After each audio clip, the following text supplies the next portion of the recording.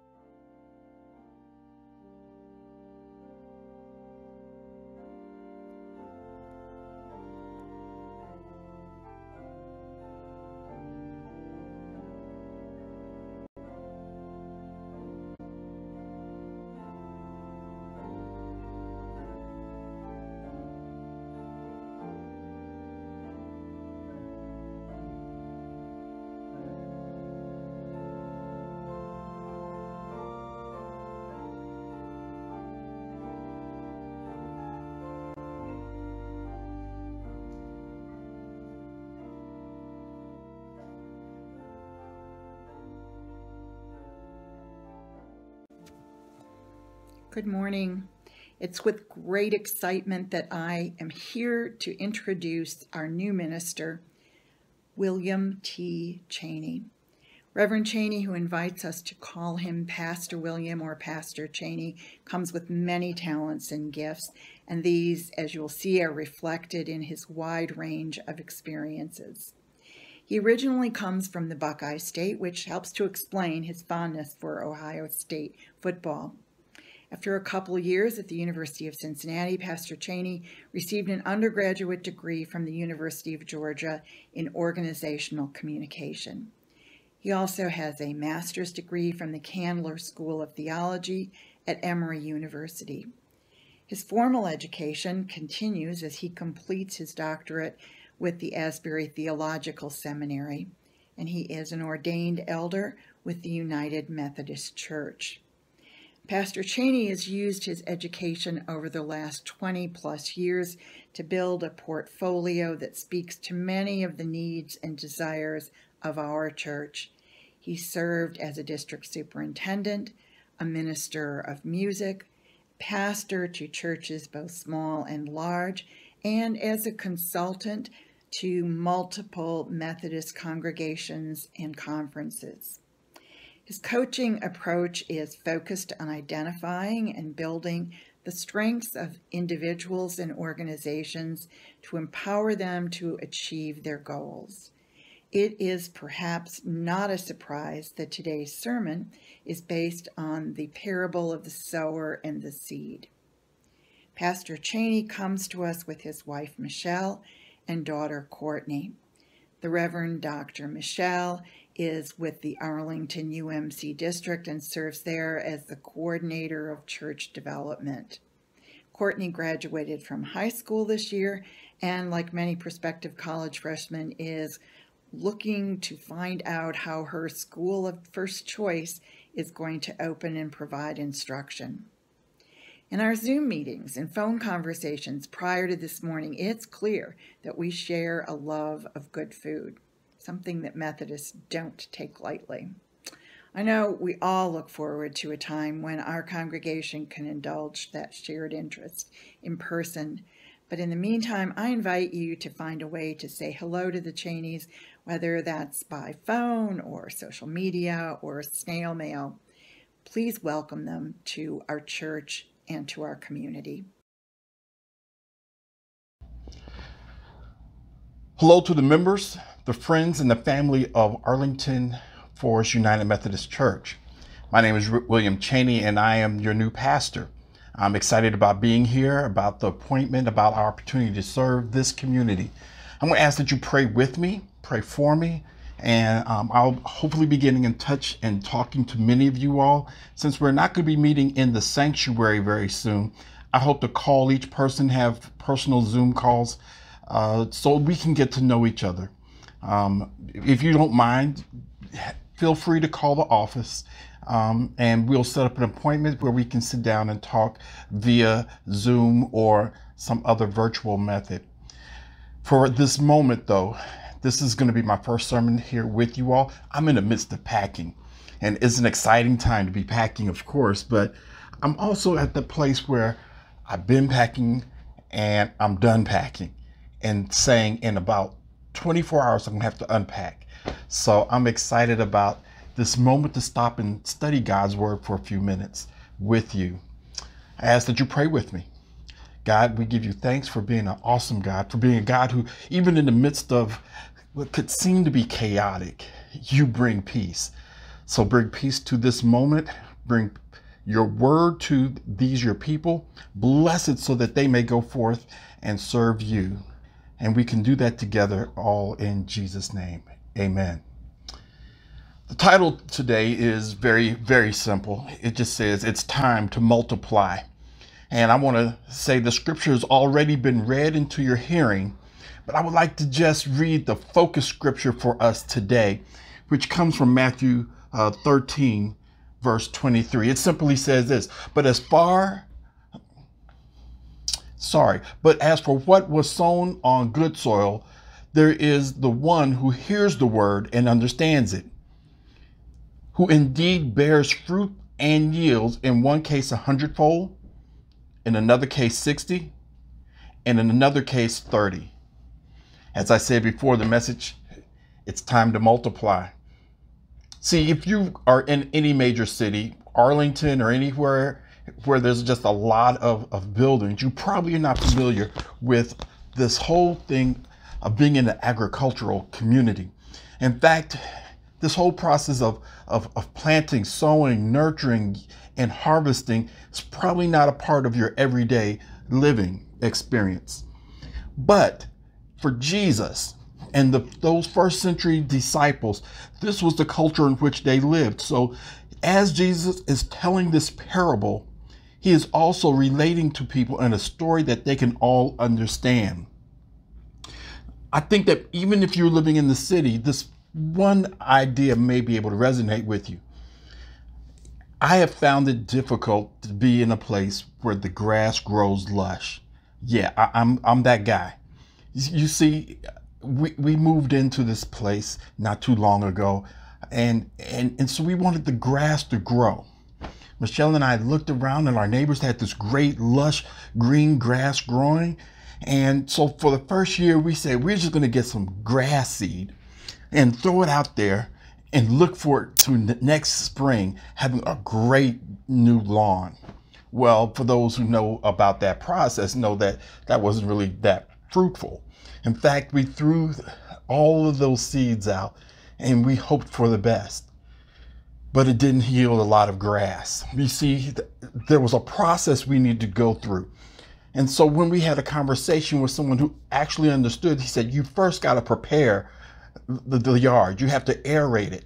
And then you throw down the seeds.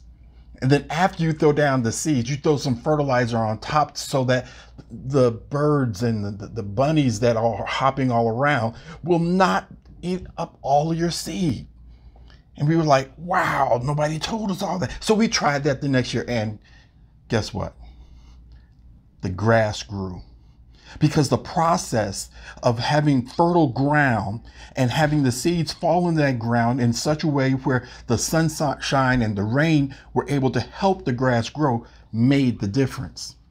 As Jesus is telling this story, this, this parable, he's also relating to everyone around him about how they can receive the word of God, the scriptures, the teachings about that, that were a little bit different than what had been experienced previously and so this is where we start our story.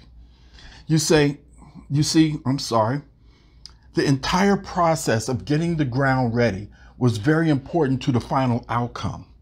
And what we want to do is run into the situation, say, we're going to listen to the scripture, we're going to have a great time in worship, and we run out and we wonder why sometimes we're not making more disciples, we're not reaching more people for Jesus Christ. And I say it's because our lives in some way reflect the different types of ground that Jesus described in the text. You see, in the text, he describes four specific types of experiences. There's one where the seed is thrown off and thrown out, and immediately the enemy comes and takes it away. Then he says some seed is on stony ground people get excited for it, but then it blows away. Some in thorny ground, they actually get excited, they get started, but then it gets choked out. But the good soil is the soil where the seeds are thrown out and there's a multiplication of fruit. And some a hundredfold, some 60, some 30. This is what we're going for. This is what we want our lives to be, where as we get into the scriptures, as we learn how to live out the love of Jesus Christ, as we learn how to engage the, the grace of Jesus Christ, as we learn how to be embodied by Jesus Christ in the world in which we live, there are others who are drawn to that because of the word falling onto our fertile ground, not just hearing it, but then understanding it. That, that's what the scripture says. It says, those who heard and understood, they bore fruit. So one of the challenges is are we not just hearing God's word, but are we getting the understanding necessary to go forth and multiply? See, that is just something. How do we prepare? How do we get prepared to go forth and hear God's word in such a way where our lives multiply, making disciples, multiply the love, stand against injustice, be the men and women of God who build families, who then engage other families around the love of Jesus Christ? This becomes the question of our time. Because if we sit back and look in the midst of this pandemic, this health pandemic, we also see a pandemic of racial injustice. As we sit back and look at the challenges around this world, we see that there are health disparities, there's economic disparities, and in all of it, we're asking the question how do we become the body of Christ that makes a difference? in all of this chaos? How do we have our lives so fertile that even when the seed comes, then it becomes to multiply. You know what? I am so glad that you all are asking good questions. The answer is not easy, but the answer is very clear. How do we prepare our hearts to bear fruit? Number one, we engage in the prayers, a discipline of prayer that invites God to participate in every area of our life to have obedience in such a way that even in the midst of the challenge, we're following Christ, not the crowd. See, that's the big thing. So many people get caught up in following the crowd. They forget that the word gives us guidance and how to live so that we are able to bear fruit. And that comes because we have prayer that invites God in to our very existence. And then we want to be present with God's people. We, you just can't know Jesus Christ in a vacuum. It's about being around all of God's people for fellowship, for worship, for discipleship. These are done in community. These are done where we all share together. We hold each other accountable. We, we, we walk the walk with someone. It's a journey. It's not just an event, it's a journey. And it requires others to walk with us. It then requires that we give some gifts our financial gifts, our time, our talent, to the building of the community so that as the fruit, as the word comes, we bear fruit that is kingdom type of fruit. Then we get into service. And see, it's easy just to say we want to serve those who are hurting, those who are marginalized, those who are without, but are we also willing to stand up for those being oppressed? See, when we when we really get serious about serving, we stand up not only just to help those who are hurting, but to stand up against those who where injustice is taking place. We, we get to a place where we stand up and say, it's not right to have children locked up, separated from their parents, because that's just immoral. It, we get to the point when we say it's not right that, that there's a racial profiling with this police department and those who do bad things as police are not then prosecuted. It, it, it is just the right thing to talk about and the right thing to do when there has been injustices because someone, because of their gender, doesn't get a promotion or because of their gender, they, they're held back in their career. The injustice is when we begin to speak up and partner with those who have been oppressed to go forth. So when we're serving, it's also about speaking out to injustice. And finally, it's about witnessing. It's about sharing the gospel. See, this glorious gospel that talks about we serve a risen Savior. This is something that, that, that many church members are shy to do because they don't want to hurt someone else's feelings. Well, in the first century church, it was all about uh, their witness. Their witness is that we're different than the rest of the world. Their witness was that we're willing to take a stand, that although there was a mighty empire, uh, empire of Rome that would be oppressive, we're going to stand and operate not from the fear tactics of the empire, but out of the love ethic of Jesus Christ. It, it, the, the early church clearly understood that their lives were the witness. And so I get excited every Easter about a song that should be our daily clear, uh, our daily uh, pro- proclamation of who we are. It says, I serve a risen Savior who's in the world today. He walks with me and talks with me all along the way. He lives, He lives, salvation to impart. You ask me how I know He lives? Because He lives in my heart. This is the clarion call that we should be proclaiming in every area of our lives. Because it happens because the word is strong in us, that we are fertile ground, and then we share that with others. You see, the thing is, when we are prospering because of God's word, then the church is prospering. When we're not prospering, then the church is not prospering. You see, if we're going to multiply, if we're going to grow, if we're going to be a healthy community of Christ, it means that each person within the community has to get to a place where their lives are fertile ground to share this goodness of Jesus Christ with all who are around them. Like the scripture said, when we get to that place, in some cases, there will be a hundredfold return. In others, there will be a 60 but in some there will be 30. But the key is there will be a return for those who hear, understand the Word of God. This is the Word of God, and thanks be to God.